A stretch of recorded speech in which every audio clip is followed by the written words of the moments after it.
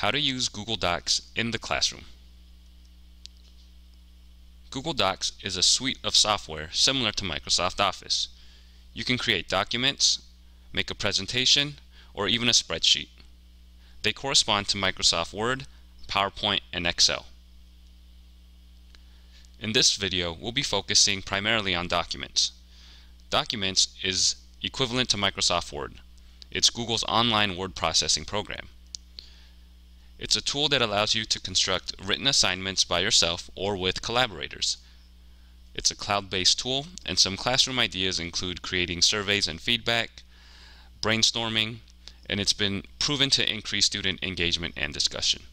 Some teachers also link their documents with Flubaroo to create quizzes and tests which allow for instant grading and feedback. One major benefit is the ability to chat you can chat in real time and collaborate on the same document with many other students. To do that, all you need to do is click on the arrow to the right of the names at the top of the screen and you can currently chat with all users currently editing the same document. Let's go over how to create a Google Doc. To get to Google Docs, I'm going to go to docs.google.com. Google Docs is where all my online documents will be stored and I can work on them in real time with other people. Everything is stored under my Google Drive and this is all for free. You can access these files anywhere using your computer or even a cell phone or tablet. I want to create a new file.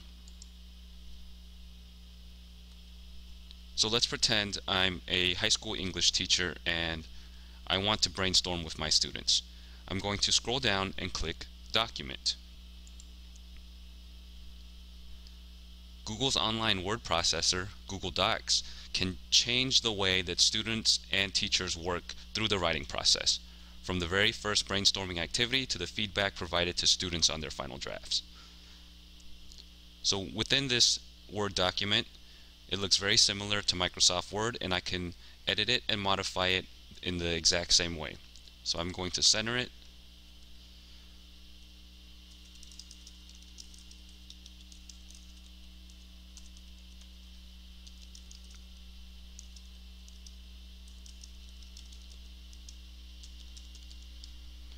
When I think of Romeo and Juliet, the first word I think of is.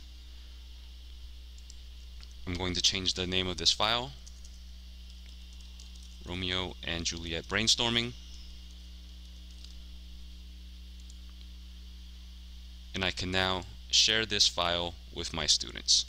Once the brainstorming session is done, I can download it as any one of these file formats, which will let me make hard copies to pass out in class if I needed to. But for now, this is the file that I've created, and I'm going to show how my students can now edit this file with me.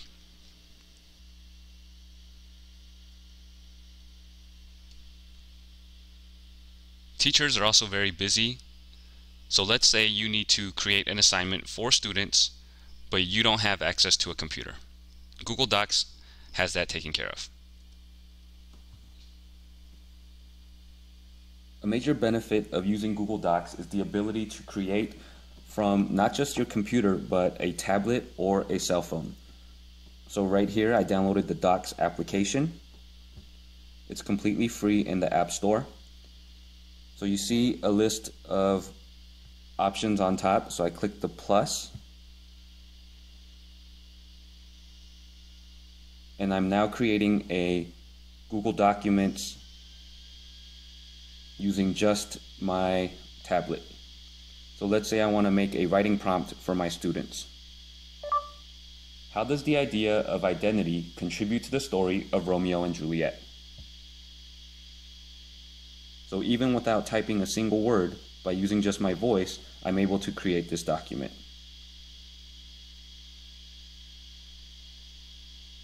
So I'm back on my laptop. I click My Drive, and it says Untitled Document. I click on that. How does the idea of identity contribute to the story of Romeo and Juliet? It's the same writing prompt that I created on my tablet, but is now stored in my drive. So from here, I can edit this file, I can add more questions, list the requirements, and then send it to my students.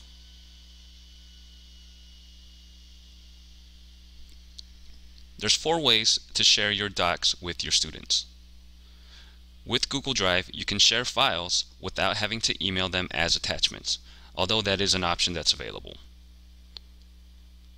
The first option of sharing is to share with a non-Google account.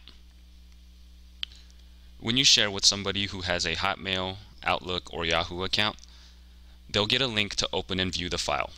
They'll be able to sign in and edit the file only if they have a Google account. If they don't want a Google account, they'll still be able to view the file. The invitation you send to the non-Google account is valid for 14 days. You can also send a link to a shared file. If you set a file or folder to anyone with the link or public, you can send the link to another person and they'll be able to access it. All you have to do is go to drive.google.com, check the box next to the file or folder you'd like to share, click the Google Drive share icon, copy the link at the top of the sharing settings, and send the link to another person or mailing list in an email or chat. So if you look at the share icon, all you need to do is click that button and you're able to share it with anybody using your contacts list or individual email accounts. You can also send files as an email attachment. Google Drive eliminates the need to send files as attachments because everything is stored online. But if sending it as an attachment is a must, this is how you do so. You open the file you'd like to share and you click on the File menu. You scroll down and email as an as attachment is available. So select the file type and then enter the email address that you'd like to send it to and click send. So in this example, you click share, email as attachment, and you're sending it as a PDF file. So everybody who gets this file will be able to open this attachment as a PDF. You can also share a file with an email address or mailing list. Go to drive.google.com and click the share icon. Choose availability option, which is private, anyone with the link, or public. Type the email address of the people you want to share with in the text box. Add people. You can add a single person or a mailing list. Choose the access level from the drop down menu. And this is where collaborators can either view, comment, or edit.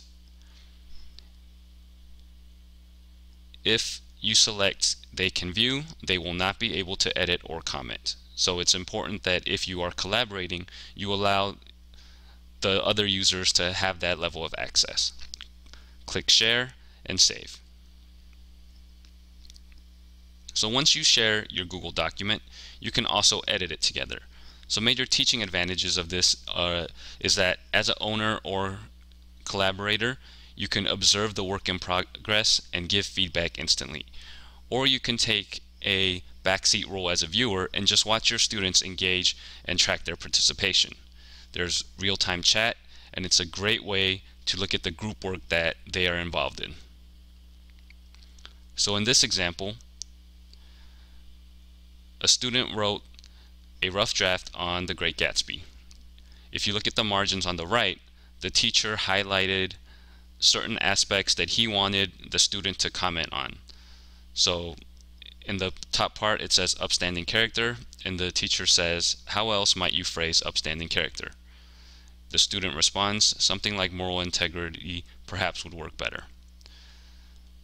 By instantly editing files together, teachers no longer have to take days to write comments and then send it back to their students and it saves a lot of time for both parties. Students and teachers can edit their documents together, greatly improving the writing process. I click on my document and I now see the words that my students came up with. I can highlight a certain part and here I can insert a link to relevant information that I might want them to look at, a comment or a footnote. So if I put comment, I can now say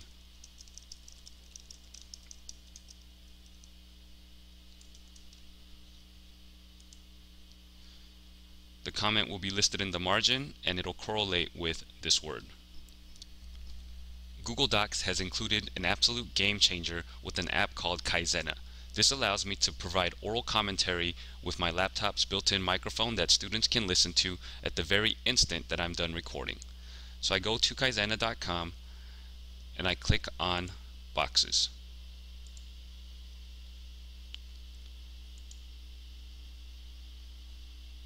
I now see the same document that's listed in my Google Drive that I can leave comments on. So I highlight a word and there's now a microphone icon that I click on and I can leave instant feedback to my students. So for the first word I can say why don't Romeo and Juliet think about their actions or reflect throughout the play? Why are they so impetuous? Students can go back and as they edit this document together they will be able to hear the feedback that I left them with the corresponding highlighted words or sections of the paper.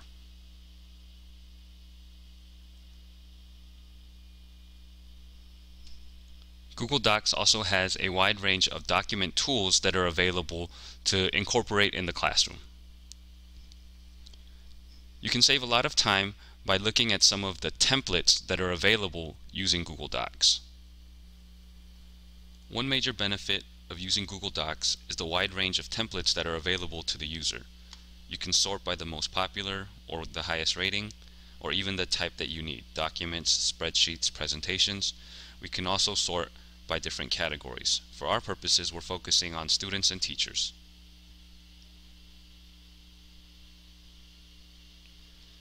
You now have the most popular templates that are used by students and teachers. A student report, a syllabus, a presentation, a project planner, or even a lesson plan concept. For this video, let's focus on specifically documents.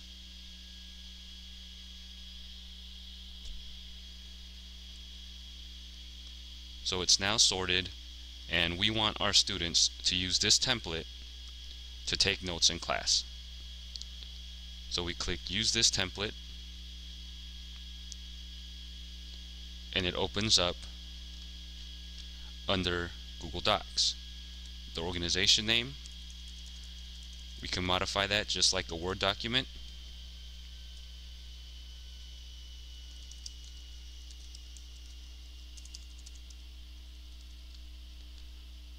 student name, course name,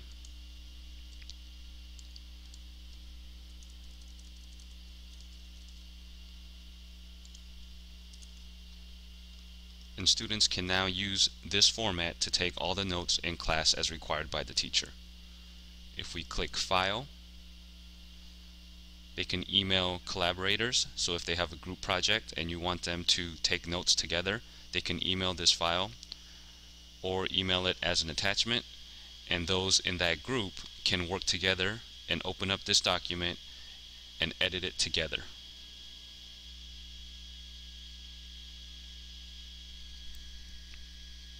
So huge benefits of using Google Docs is that it's stored online and it's cloud-based so you no longer have to carry around a USB stick or a micro SD card and try to save everything. If you lose your work because you forgot to save, it's fine because everything's saved online. Simultaneous editing, which is huge for students and teachers. So 10, 20, 30 students can log into one file and you can work on this file together. So in our example of the brainstorming, students are able to all log in and immediately start writing sentences and putting their insight into the brainstorming that we were doing.